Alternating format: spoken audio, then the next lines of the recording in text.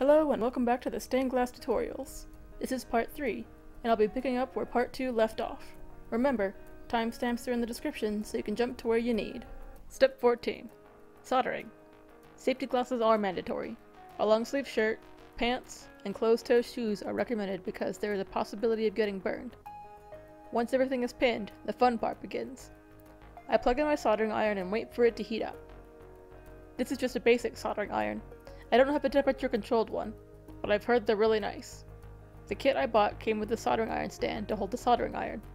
I use a piece of wet sponge to clean and control the temperature. While it heats up, I set up the fan. The fan blows away the solder smoke, since I can't open the windows I have. In order for the solder to stick to the foil, flux must be added. Without flux, the solder won't stick. As far as I know, there are two types of flux, paste and liquid. I've used the liquid type in class, but I prefer the paste type. I use a small brush to apply the flux, then begin soldering. I first stack the pieces together. This will allow me to remove the pins so I can solder the rest of the pieces. I use a 60% tin, 40% lead mixture, also known as 60-40. There are also other mixtures, and even lead-free solder.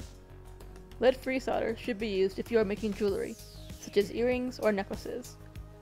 Lead-free solder is more expensive though. I tack the front and then the back.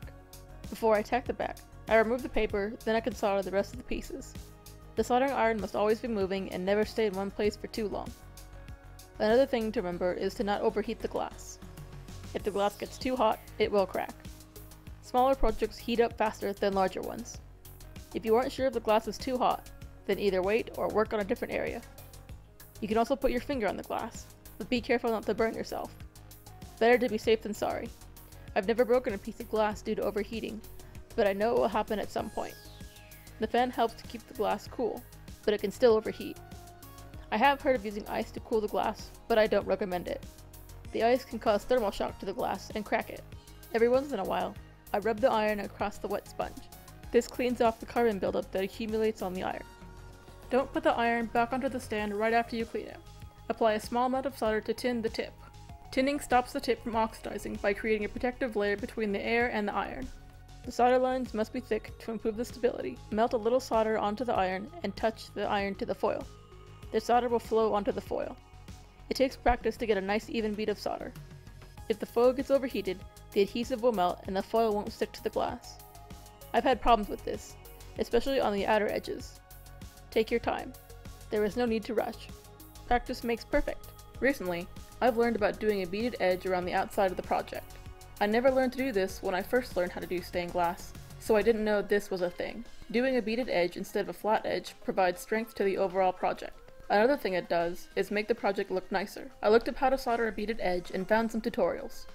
Initially, I tried to do it like they did, holding the iron flat over the glass and applying a small amount of solder to the edge. This had mixed results.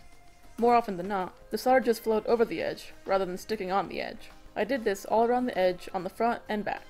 Since I had a lot of excess solder, I used that to bead the wider edges. I could either hold the glass as I moved the iron, or set up a clamp.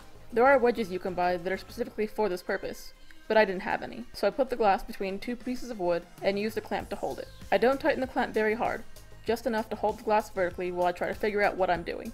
I need to make sure I don't overheat the edges. Otherwise, the adhesive on the foil won't stick to the glass. Some of the solder drips off the edge onto the already soldered bits. This is normal. The soldered drips won't stick to the already soldered parts because the already soldered parts are cool. I put the excess solder into a container because I can still use it. Step 15. Making and attaching hooks. To make hooks, I use copper wire.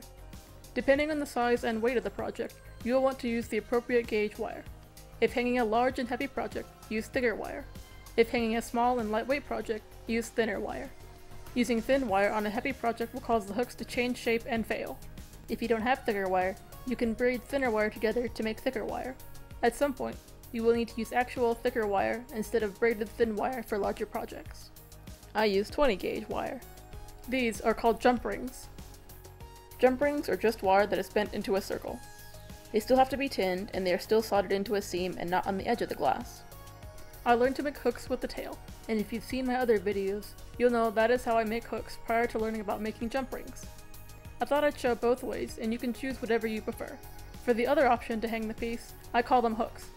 Technically, a hook is the general term for hanging things, and a jump ring is a type of hook. They essentially do the same thing.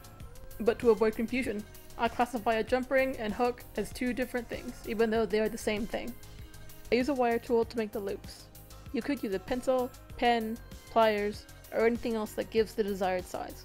Wrap the wire around your cylindrical object of choice, either overlapping the end or butting the end to the rest of the wire. The hook will need to be tinned and soldered to the glass. Apply flux and use pliers to hold the wire. If you hold the wire with your fingers, you will burn them. Heat transfers very quickly through metal. Hold the hook as you apply solder with pliers. Once the hook is tinned, arrange it the way you want to the glass. The hook must be soldered in a seam. This provides a stable fit. Once you have the hook in position, use a soldering iron to melt the solder. Make sure no part of the hook sticks out from the solder, otherwise it'll scratch you if you run your hand along it. Once you are finished soldering, let the glass cool. Step 16. Cleaning the finished project. Now it's time to clean the residual flux, solder, and whatever else accumulated. Remember to let the glass cool down. If you put the glass under water and it is still hot, it can crack the glass. There are chemicals to clean off the flux and patina, but I don't use them. I use Dawn dish soap and a sponge to clean it, and it works just as well. As I mentioned before, if silver sharpie is used, rubbing alcohol or nail polish remover must be used to get the silver off. The black sharpie should come off just fine with dish soap and water. Use either paper towels, paper napkins, or a towel to dry the finished project. Depending on what kind of foil used, you may or may not need to change the color of the solder. Step 17. Changing the color of the solder. Solder is naturally silver. To change it to black or copper, a solution called a patina is used. To apply the patina, Find a container and pour a small amount in. Use disposable gloves because the patina will stain skin and clothes. Use an old toothbrush and dip the toothbrush into the patina. The patina will stain the toothbrush, so be sure to keep your toothbrushes for black patina and copper patina separate. Scrub the solder lines. You will notice the solder instantly changes color. Keep scrubbing until all the parts are the desired color. There is no way to make the color darker. Layering the patina doesn't make it darker, since the initial chemical reaction has already taken place. I've never tried making different areas different colors. I think it can be done, but you'd have to plan it beforehand. There's also the fact that you'd have to figure out how to keep the patina from mixing. Rinse the excess patina off using water. The patina on the solder won't come off as easily. If you want to get the patina off, you would need steel wool. Again, there are chemicals you can buy that clean off the excess patina, but I just use water, then move on to waxing. I've never used those types of cleaning chemicals when I learned how to do stained glass, but you do you. Step 18. Waxing the glass.